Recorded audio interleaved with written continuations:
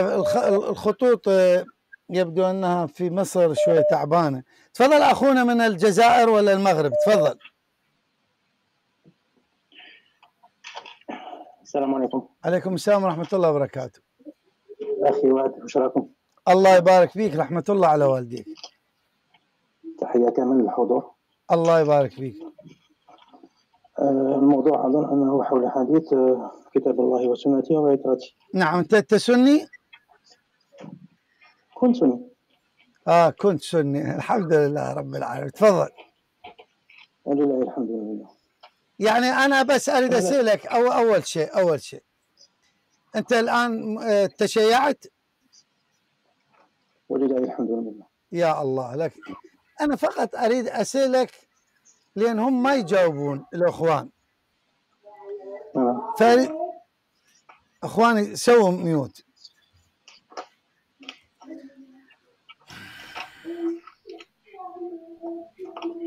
تفضل. بس لحظة لحظة خل أشوف هذا منو اللي صوته.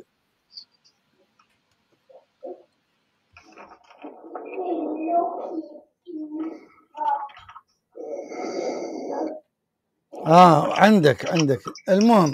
نعم عندي لا صوت طفلة فظهر عندك الطفلة. الله يخليها هذه هذه بنتي هذه بنتي. الله يخليها. الله إن شاء الله تتربى بعزك وإن شاء الله تكون من المدافعات عن محمد وآل محمد عليهم أفضل الصلاة والسلام. طيب نرجع إلى إلى أريد أفهم عندما كنت سني. كيف كنتم تصدقون ولا تبحثون عندما كانوا يقولون لكم على المنبر النبي قال تركت فيكم كتاب الله وسنتي. ودي أفهم هاي القضية. حقيقة ما استوعبت تفضل. يا أخي وش حاب نقول لك. هي هي الحكاية سي كو العلم الأخلاق في الجزائر كو لو كان هو شيء مقدس. لكن إذا كان الامام فوق المنبر يحكي حكاية معناتها الإنسان يامن بها ويأخذها بمجرد سماع بها حقيقه مطلقة. حاجة أخرى ثاني كو كان الناس تحب الدين وتقدس الدين. ما ما يجيش في بالها نقطة باللي تشك ولو لحظة واحدة اللي هو فوق المنبر ما عندوش معلومة واللي عنده المعلومة هو يخبي فيها. بالمعنى, إذا كان راح المسجد وقاعد يسمع للإمام وعنده الإمام حاجة كبيرة وخليفة فوق المنبر بدأ يهضر باسم ربي سبحانه باسم النبي صلى الله عليه وآله. معناتها ما يشكش مين ما يجيش في باله باللي هذه فيها فيها احتمال بلي تكون خطأ ولا تكون كذبة أي شيء إحنا في الجزائر نعمله الحاجة الأولى اللي نديرها يكون خدمة الإمام في خطبة في جنازة في عرس في فرح في قرح. الحاجة الأولى هذا الإمام من جزائر ونقدمه. حتى إذا كان ذا كثير بيناتنا نجيب الإمام وهذاك الإمام هو. كلامه معناتها حقيقة مطلقة.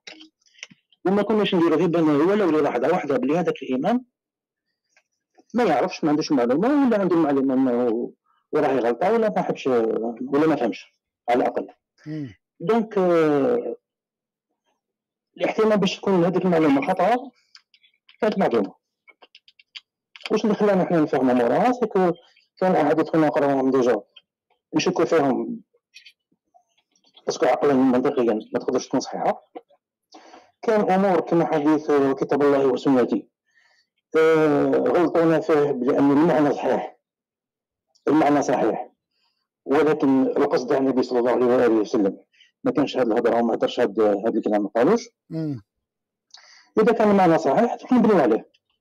وهذه هي المغالطة الكبيرة اللي صارت. أما كلمة عتراتي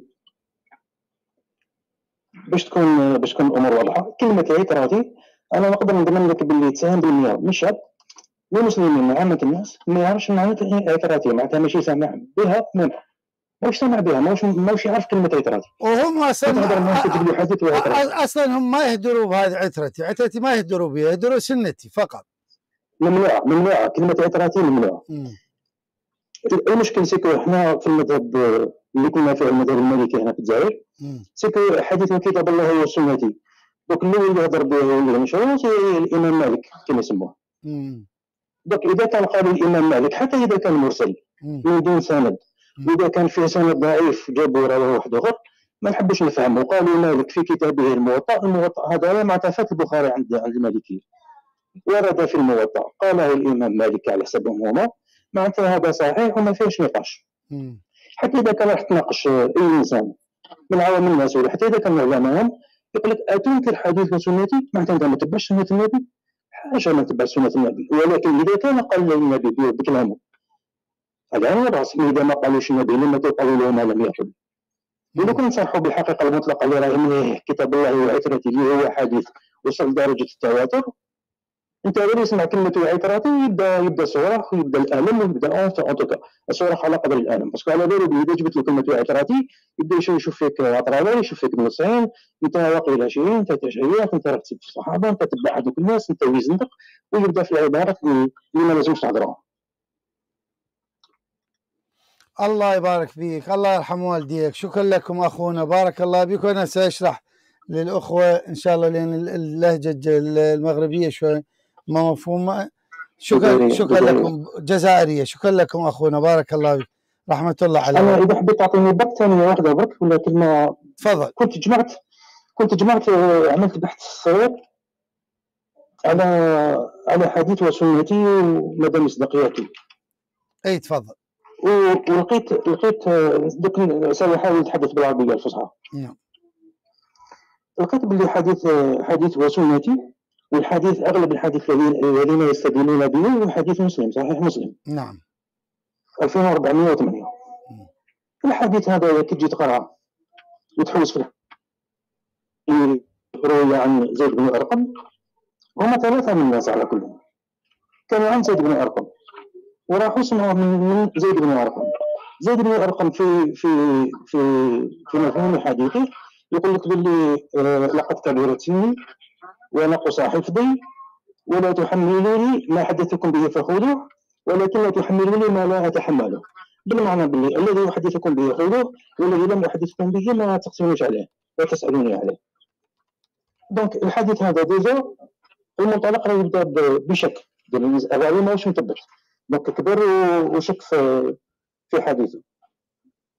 أه وبصح الذي الذي يلفت الانتباه يأثر على لا تحملوني ما لا أطيق هي نفس الحديث ونفس السند مروي في مسند أحمد.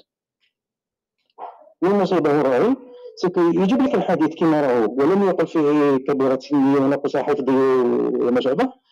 يقول لك بلي حدثنا فلان في نفس المجلس اللي كان فيه زيد بن أرقم. عن من؟ يحكي على عبيد الله بن زياد عليه اللعنة يعيط زيد بن أرقم يقول له ما ما بالك تحدث بحديث لم يسمعها عن رسول الله. واضح. تحدث عن حوض وما ما حوض وما شابه. واضح. هذا زيد بن أرقم هذا هذا عبيد الله بن زياد عليه اللعنة.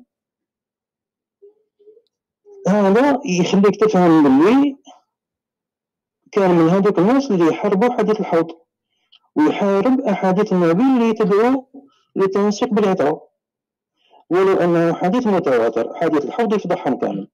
دونك واش لازم يدير لازم يحارب حديث الحوض ويحارب الأحاديث الصحيحة التي تدعو للتمسك بالاثر ولو أنها متواترة. ويروح يتبع حديث مسلم اللي فيه الشك عدم اليقين والحديث اللي مروي بالمعنى وهنا اسانيدهم يقول لك الحديث لازم يكون صحيح في أعلى درجات الصحة؟ لازم يكون حديث مروي به ثابت ولازم يكون الحفظ تاعو شديد والحفظ تاعو جيد وما شابه. دوك أنا حبيت نفهم كيفاش يخلي حديث متواتر الإمام الطبري جمع فيه مجلدين في سنده برك. وهذا كتاب للإشارة فقد ما بالناش وضعه. ويحكي على حادث العترة. ويروحوا يتبعوا الحديث اللي فيه شك وفيه رواية بالمعنى وفيه نقص وفيه تهديد تهديد للراوي من عند عبيد الله بن سليم المشكل الكبير راه هنا كيفاش تخلي حديث متواتر وتروح تتبع حديث للعمر بن شوائب وعمر بن نقاس هذا يخليك تفهم باللي الحكاية فيها فيها شك وفيها تحريف وفيها سياسة. وفيها بزاف أمور. المحاربه لاهل البيت. عليه السلام بدات ما من الأول.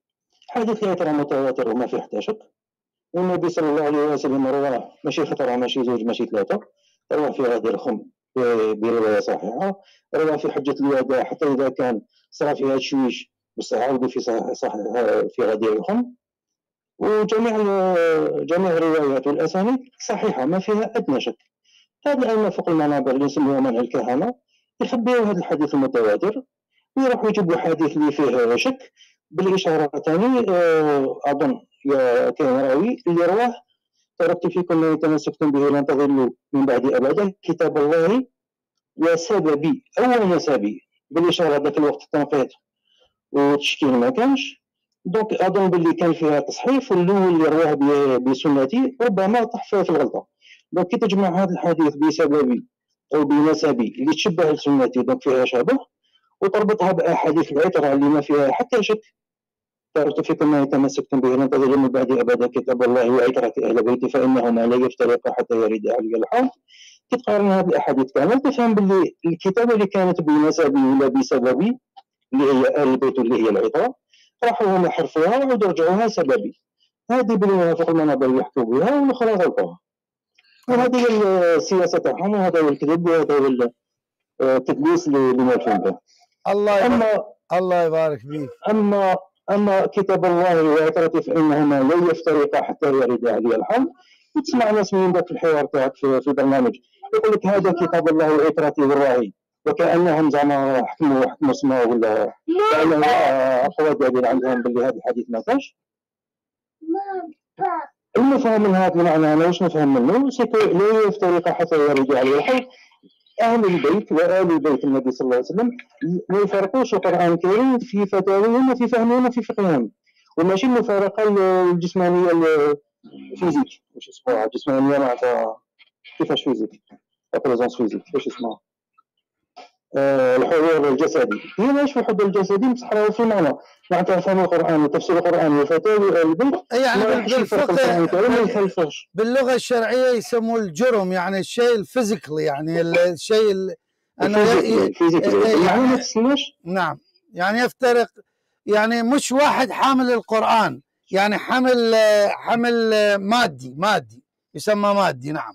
يعطيك الصحه نعم. يعطيك الصحه donc هذا المفهوم المفارقة راهي في المعنى راهي في الفهم راهي في الفتاوى راهي في, في الأحكام الشرعية من المستحيل فرق القرآن الكريم. وهذا ثاني دليل دليل كبير باللي فيها اسمه. باسكو إذا كان من المستحيل يفرقوا فهم القرآن وأحكامهم ما تعارض القرآن من المستحيل المستحيل هذا يعني باللي جميع الأحكام تاعهم ما راحش تكون مخالفة للقرآن الكريم وهذه فيها إشارة للعصر تاعهم. أحسنت أحسنت. بارك الله فيك. وجزاك الله خير الجزاء. بس أكد لي أنت من الجزائر ولا المغرب؟ من الجزائر. من الجزائر رحمة الله على والديك. وبارك الله بك الاسم مرة أخرى الاسم؟ الاسم عبد الله. عبد الله ما اسميش عبد الله بس عبد الله عبد الله. آه شكرا لكم شكرا شكرا لكم مولانا. بارك الله بك رحمة الله على والديك وجزاك الله خير شكرا جزيلا شكرا جزيلا شكرا جزيلا. الله يبارك فيك رحمة الله على والديك شكرا جزيلا. أنا أطلب من كل الأخوة والأخوات أن ينشروا هذا المقطع آه، جزائري يتكلم باللهجة الجزائرية ويشرح حديث لماذا تشيع وحديث كتاب الله وعترتي وسنتي. ملخص القول أنه قال هم يقولون كتاب الله وسنتي ولا يوضحون أن النبي ما لم يذكره وعندما نريد عندما سألته لماذا نريد أن لا تسألون أين اللفظ الصحيح يقول لا يسمحون لك هم يعرفون هذا الأمر وعندما نسألهم يقول المعنى صحيح ثم يأتون ويقولون لأننا مالكية فموجود في موطأ مالك وتدري هنالك المغرب والجزائر عندهم موطأ مالك الإمام مالك شيء كبير فلذلك الكل آه، يسكت.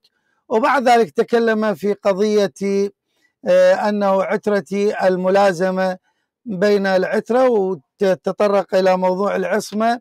وأنا متعمد أنه تركت الأخ يكمل لأن أريد هذا المقطع أن ينتشر بين الأخوة من الجزائر والمغرب حتى يفهموا اللهجة. بارك الله بكم رحمة الله على والدكم. طيب الآن